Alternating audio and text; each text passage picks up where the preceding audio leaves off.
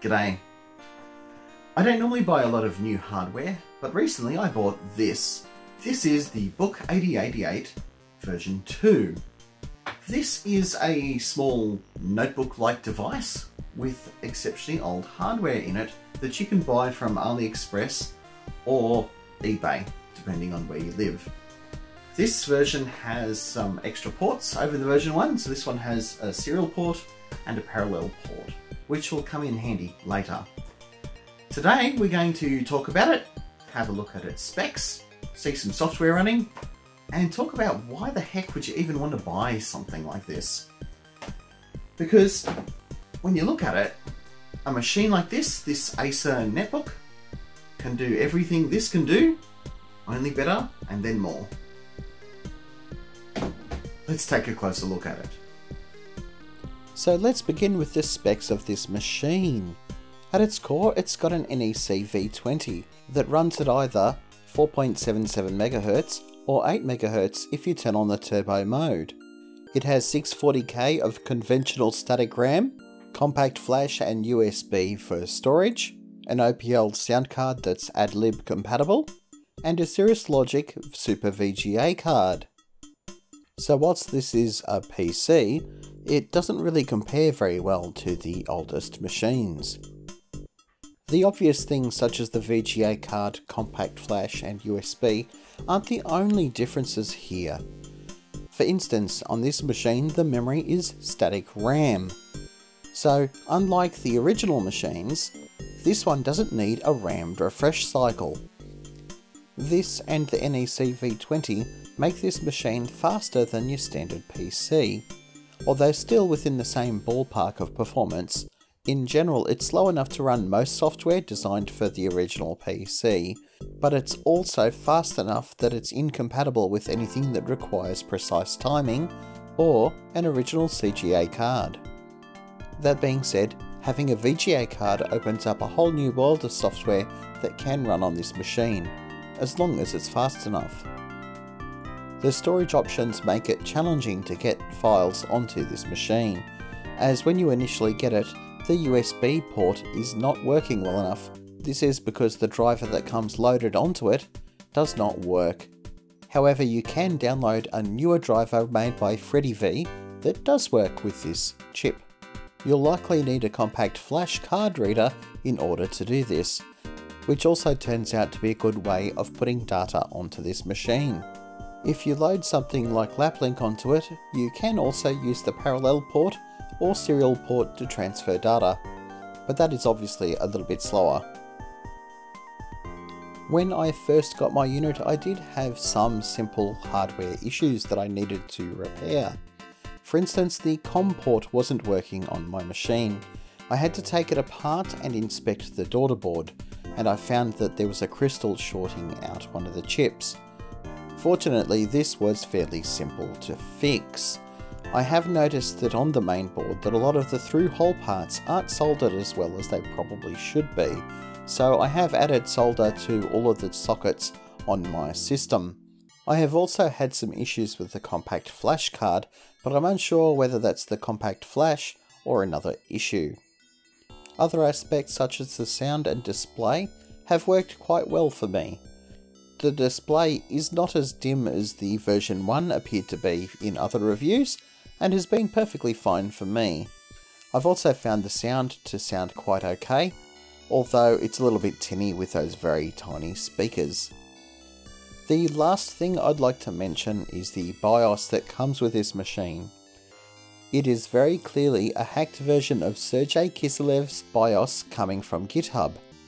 Given that it's open source, it's pretty bad that they didn't include his name in the copyright message. There are some BIOS binaries available online if you happen to have a ROM burner and are able to update your machine. I just so happen to have the correct programmer and some ROM chips, so I have been able to install a newer version of the BIOS. Having heard the hardware specs, I'm sure you're thinking, why would anyone want to have a machine like this? Surely there are better machines out there to use for playing DOS games. And for the most part you'd be right. If you happen to own some vintage hardware such as a 386 or better, or even an old IBM PC, you'll likely find those more satisfactory to use than this. However, the truth is, not everyone can own vintage hardware. Some people won't have the space for it, others will find it simply too expensive to acquire, or maybe there just isn't any available in your local area. In this case, you need an alternative. You can, of course, use modern hardware with an emulator, which is generally actually a pretty good way of playing an old DOS game. But emulation often doesn't feel the same as running it on real hardware, and there can be some accuracy issues with some software and some hardware setups. So the last option is replica hardware such as this device, but also others such as the NUXT. An advantage of a replica like this is that you get real hardware with many of the features of old vintage systems, but also features of more modern ones, such as a compact flash card or a USB port. Of course, this changes the character and feel of such a system, so it doesn't feel entirely genuine when you use one. So there are trade-offs. Also, I've found when trying to buy one of these enthusiast projects, they often run out of stock before I get a chance to buy one so they're often less available than vintage hardware. I ended up buying this unit as sort of a compromise between a number of these factors. Let's now take a look at the Book 8088 running some software. First up, I loaded a number of modern DOS games, the first one being Magiduck. This one uses a hacked text mode to display 16 colours even on a CGA card.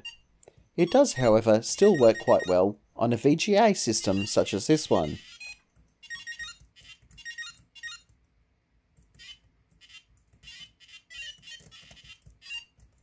Of course I also tested my own game, Bob's Fury, which works quite well on this machine.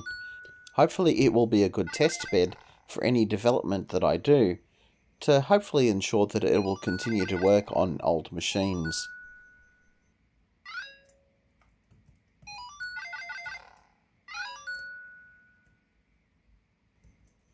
Paku Paku is another good example of a hacked text mode game.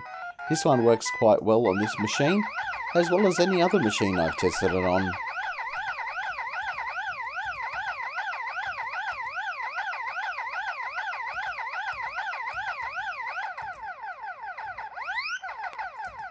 Ossuary works quite well, with its CGA graphics looking exceptionally good.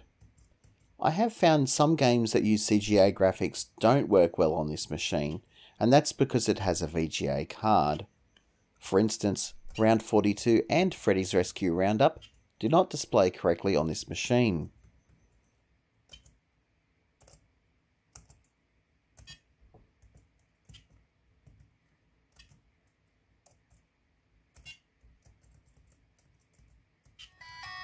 Next I tried Planet X3.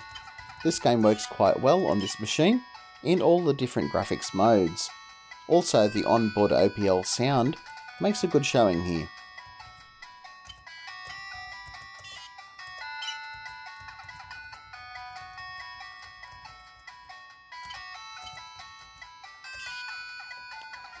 David Murray's other game, Attack of the PETSCII Robots, also works quite well, although I did encounter a strange bug. When I finish the level, the game just seems to stop. The system doesn't hang, the music keeps playing, the keyboard keeps responding, but nothing happens. I suppose this could be an error in the BIOS, but it could be a problem with the game as well.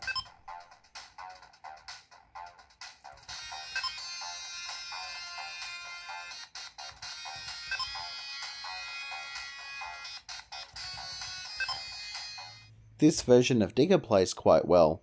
It is not the original CGA PC booter game, however. This is the remake, Digger Remastered, that was made for DOS systems quite some time ago.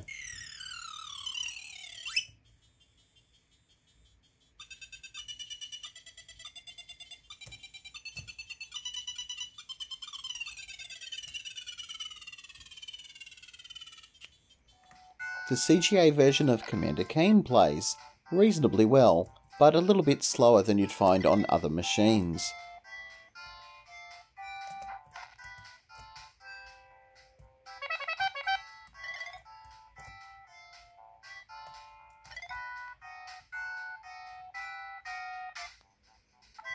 The EGA version also works, but is noticeably more janky and slower, it's playable, but I'd much prefer the CGA version over this.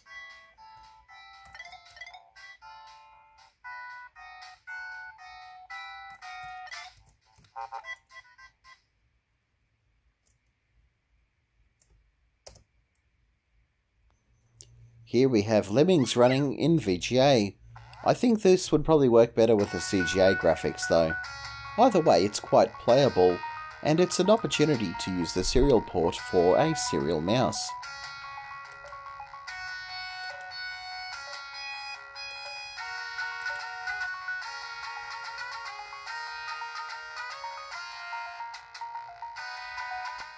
Where in Time is Carmen Sandiego also benefits from having a serial mouse. This game plays quite well.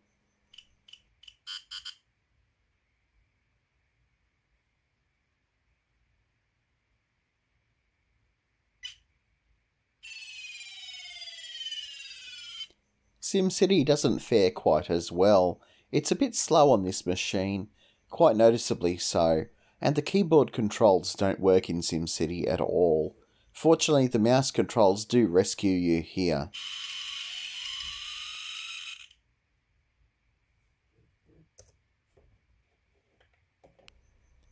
Catacomb plays quite well. The graphics and sound look good, and the character controls quite well.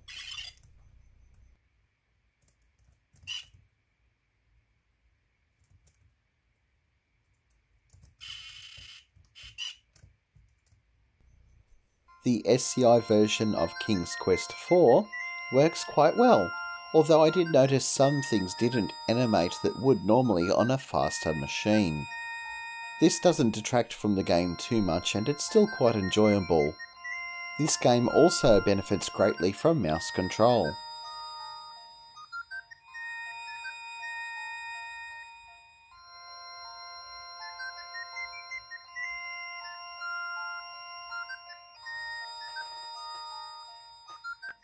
Manhunter 2 does not benefit from mouse control because it doesn't support it, but otherwise works reasonably well. I think the best hardware to play this game on is actually a Tandy machine, because you get better 4-voice sound there. However, this is as good as it gets for anything that's not a Tandy.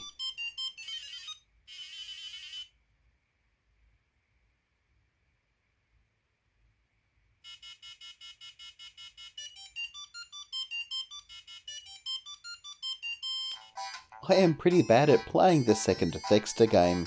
It does work on this machine, but it does suffer from slowdown where the screen gets a bit busy.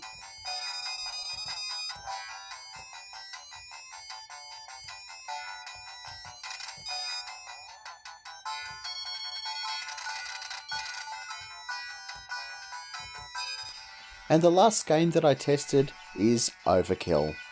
It runs, but it is significantly slower than it's meant to be which kind of works in my favour because I'm not really great at all that many shoot 'em ups.